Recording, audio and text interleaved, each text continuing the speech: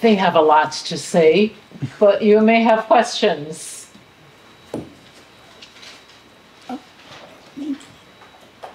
Yes, please, our keynote speaker. Yes, I, I heard you mention reference to Alinsky. Uh, how has Alinsky and his model influenced your organizing and how have you moved beyond Alinsky in terms of how you organize, particularly coming out of Chi-Town? Okay, all right. Uh, that's a very good question. When I started, when I first started organizing, this was back in 1985, it was organized around a sort of like a, uh, Alinsky model. All right, you knock on doors, you create an organizing committee, you develop these issues. You don't have any sort of issues that you know what uh, are controversial or anything like that. Okay, what I what I even early on, sort of based on my influences from my parents and my like uh, my grandparents, that you know what, there's a much larger sort of sense that we need to, a much larger sort of like uh, identity that we need to have, and it goes beyond that sort of simple organizing, all right. And I immediately sort of like you know threw that away and it really started addressing many of the real issues and moving away from the model of like uh, uh, Alinsky. I do think in terms of its like core, is very important in terms of learning how to organize. But you know what?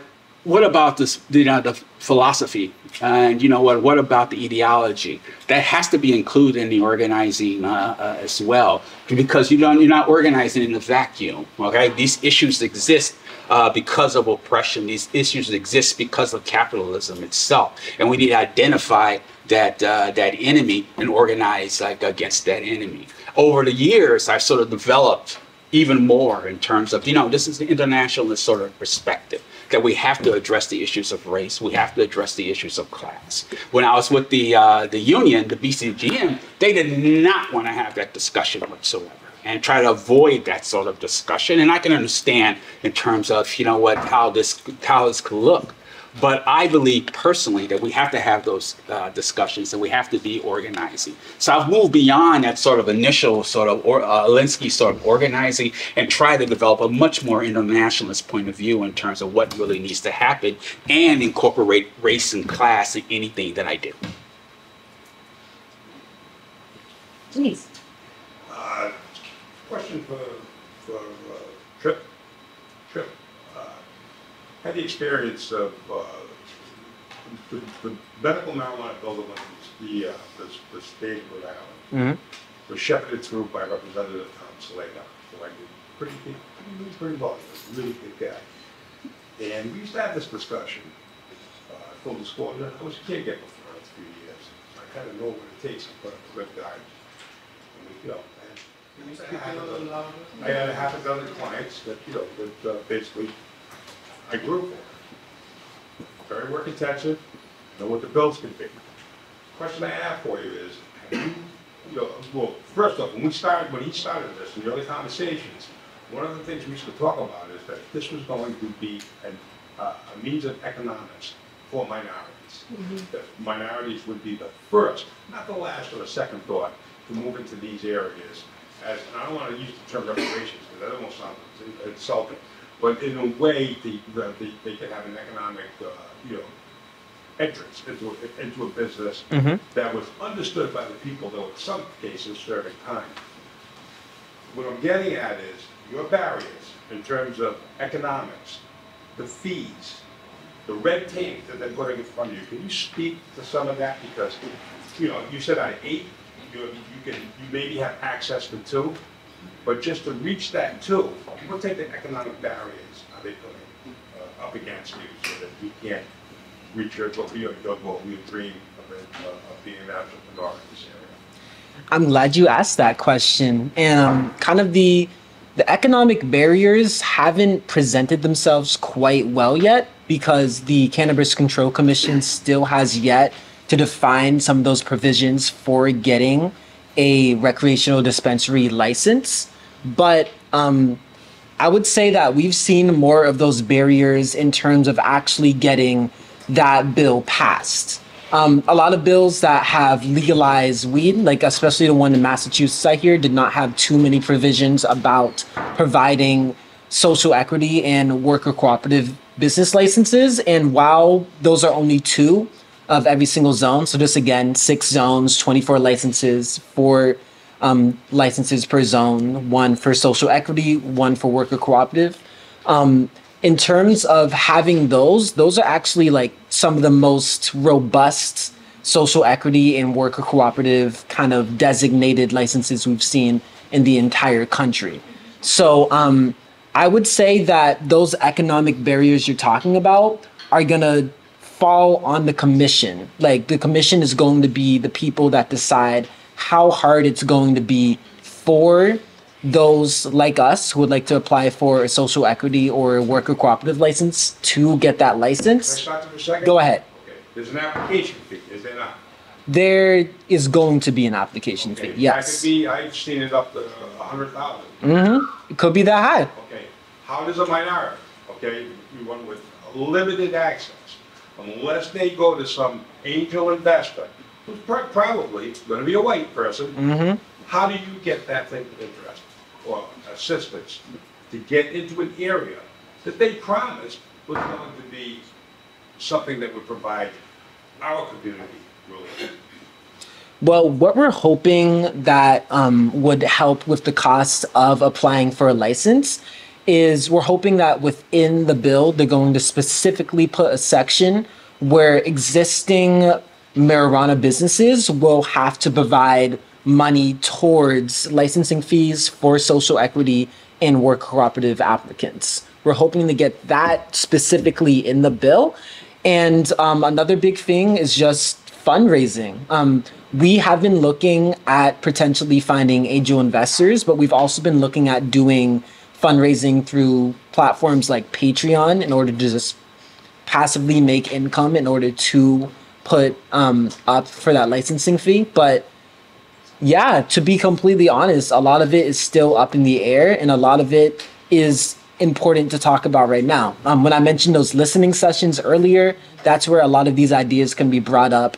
But um, right now, the fight is making sure that there are, as you said, easy ways for minorities to be able to plug into this industry. And um, yeah, that's what the fight is about. Thank you. Thank you. Question. Yes. I mean, for Trip, I know it's kind of early, but is there any mechanism in your organization that will be able to measure some of the impact of the programs, say on the inequities that we heard this morning, and whether or not it is having an impact on some of the criminal justice outcome, or not reducing recidivism, et cetera, et cetera?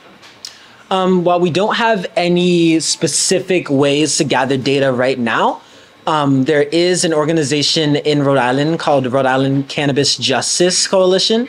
And what this coalition aims to do is to support all these upcoming worker cooperatives that are popping up in Rhode Island. And hopefully, some of the work that they will do will be that data analysis and data collection of these new social equity and worker cooperative businesses so we can have specific data to compare to before these licenses existed. Um, these are all things that I definitely want to be involved with the coalition, but um, as I said earlier, a lot of this is still up in the air. But that is a great point, so thank you. More questions?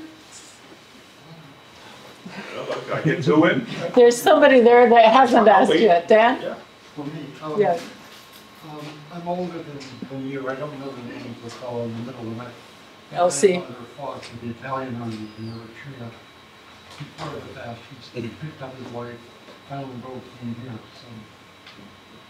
Uh, helping the sport, but I, I, I wanna ask you about myth, they just automatically think that myths are bad.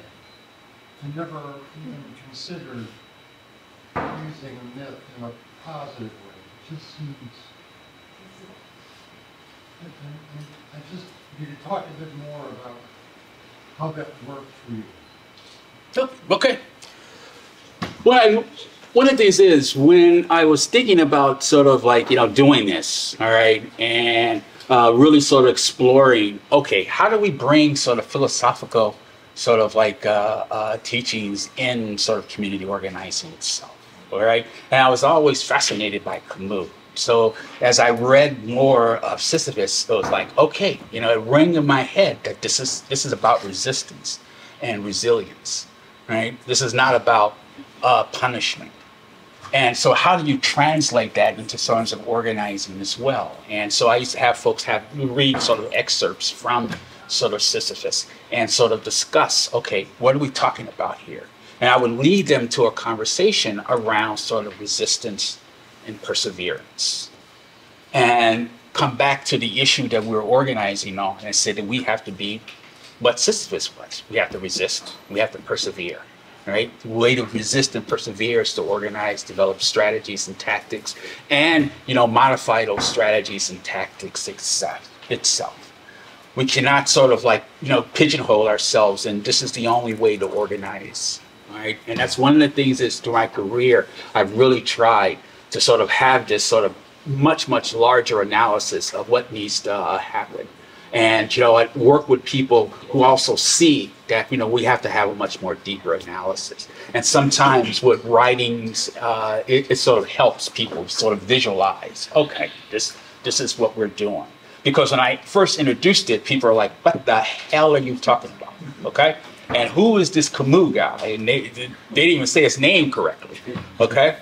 But through sort of like perseverance they, they began to understand and while I was having them read this and talking about the issues of resilience, the issue of perseverance uh, itself, that this was not a punishment. This is someone who is resisting those who have oppressed them. And we have to do the exact sort of same thing. Okay? And, you know, using sort of like uh, folks like uh, James Baldwin as well, you know, and talking about sort of the interconnectedness of our communities all right, that we need to be sort of a part of our community. And that's the entire sort of community. It's not just this person's community or that person's community. So it, it, it helped to have these sort of larger issues around race, around uh, uh, class, using sort of like, you know, these authors that some folks were familiar with and some folks weren't. But we engaged in, all right, this is how we can make some sort of change. And you know what, read up on who know who these individuals are Okay, so I'm, I'm very big in terms of you know what having sort of these like philosophical underpinnings when we talk about organizing itself because a lot of times we get away from like uh, that. We want to talk about the nuts and bolts of that like uh, organizing. But if you're going to be in it for the long haul, like I am, you have to expand not only your like uh, skill base, but you know what, also your thinking on how to do this work and do this work effectively. And what works somewhere doesn't work somewhere else. Okay, how as an organizer can wherever you go, you once you understand the issues, once you've organized people, you know what to exactly do. Okay, and I think that's that's sort of like really important and sometimes missing in the trainings that organizers do today is A, B, C, D. Okay, and you know what? Uh, I think that we need much more of that, uh, more than just that uh, they don't understand that not only just the basic of organizing sort of itself, but what are the real sort of philosophical underpinnings of organizing and where where can it actually go and what should it actually be? And I think expanding sort of our horizons is very important because you know the when I when I started I started off in like uh, June 10th, 1985 as an organizer. My first issue was a stop sign uh, near a like uh, uh, elementary school.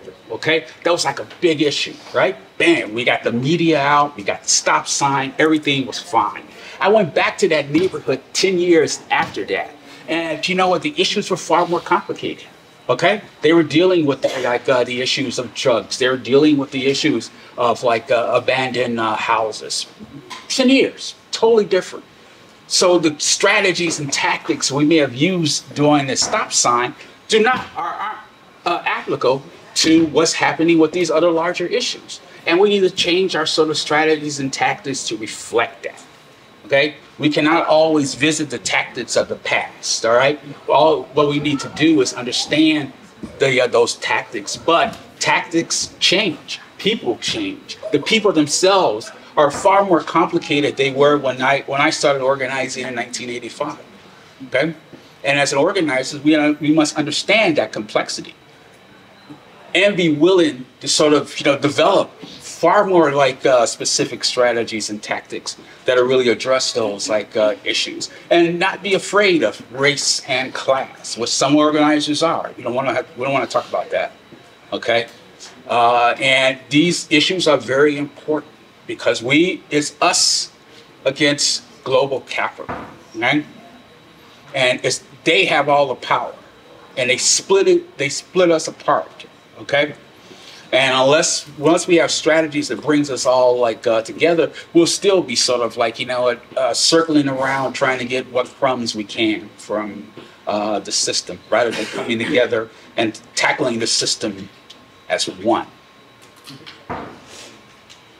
Thank you. Before uh, the, while we go into the last couple of questions, if you have anything upstairs, um, uh, unfortunately, you know, if you can go get it, um, because we're, they're flipping it for the, uh, the dinner, so my apologies, but, uh, we have time for a couple more questions here, but, um, please, if you do have anything upstairs, just, uh, go up and, uh, gather. Also, if you, um, are here from a class, make sure you sign in so we can keep a record and give it to your, uh, teachers.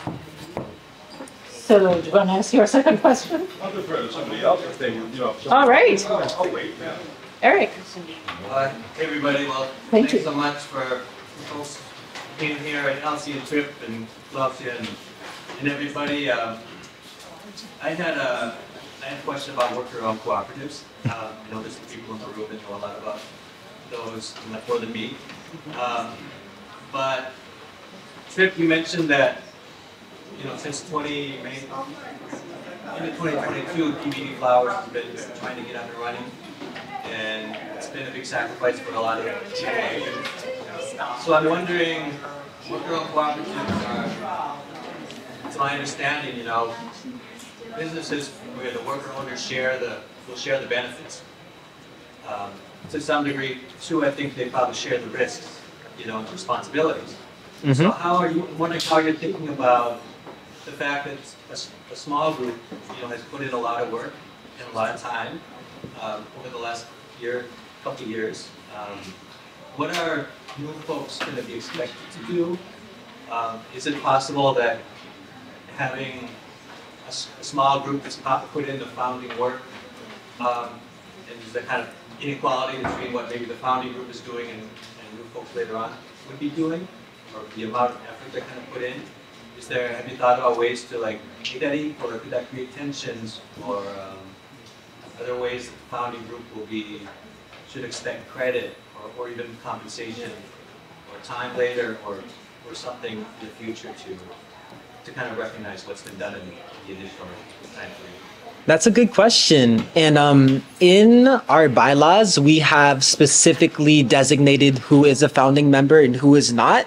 But that does not typically come with any benefits. And in our bylaws, it doesn't come with any benefits. Um, I see, personally, I see a worker cooperative as putting in effort no matter what time you joined. Um, I realize that as someone who has been part of PVD Flowers since 2022, there may be more work that I did putting in hours to make the bylaws or planning events. But the reason why we're doing all of this work right now is so that we can get other people involved.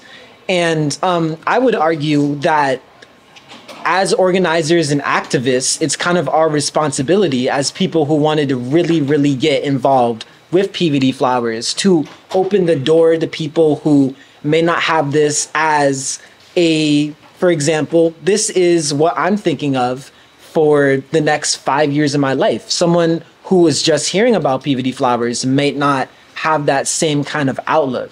And as someone who put in all that effort to get this started, I want to shine light on why I believe this works and why I think that person can get involved with PVD Flowers and be a meaningful part of it. So I don't have that mindset, but also coming from the perspective as an organizer and as an activist, I know that dealing with people is always going to be tough. People will always have their own emotions. They will feel like they did more than the other, and that can be really hard to balance. But I just want to bring it back to the idea of a co op being democratically run, being part of everyone's responsibility, everyone's benefit, and everyone's risk. When we have that mindset where we're all responsible for what we're doing and everything that happens in the business reflects on us, um, I think that no matter the effort that one puts in, that effort is going to be reflected on that person. Um, I feel like if someone, well, in writing, if someone works more hours in a co-op, they're going to see more benefit just monetarily. And when someone puts more effort into something that they're passionate about, I think you just get more, more out of it morally and more out of it as a person. So I'm not too worried about that, Eric, though I think it's a really good point, And it's something I just kind of want to keep an eye out for as an organizer and as a member of PVD Flowers. So thank you. We have precisely one minute. Quick. Real quick. Real quick, uh, Yes. first off, well, nice place to hang out, you guys. Usually, you know, with me, somebody's gonna die for me to be around this many Cape Verdeans.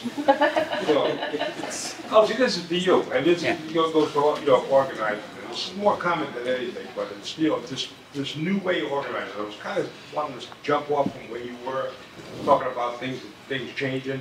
One of the things that come up is the language of organizing, the things that we say when we organize. Here's one of them, like, you know, we came up like, okay, black folks, Latinos, all right? I don't know how many times I look over and that Latino is black. You know what I mean? So I, you know, the thing is, how am I gonna get that guy to understand that we're in the same, you know, the same plight?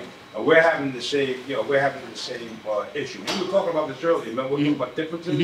You know, and this goes all the way down the line because, you know, especially now with, uh, you know, with science the way it is and stuff, we start poking around your twenty-three and me, you know, you know, people might be getting upset about what they find in their little genetic closet. So, I want to know about, you know, how you feel about that, how we need to change that, uh, you know, that language so that it, you know, so that it's more encompassing of our union. And you have about 30 seconds. Okay, uh, I think that uh, as organizers, the language definitely needs to be changed. All right, you know, what the issues are far more complex. So, you know what, our, our terminology needs to equal what the, uh, the issues are. And you know what, as we talk about the issues of race, that, you know, it is, that's a complicated sort of discussion, but it's a discussion that must be had. Thank you so much. Please, thanks to both our presenters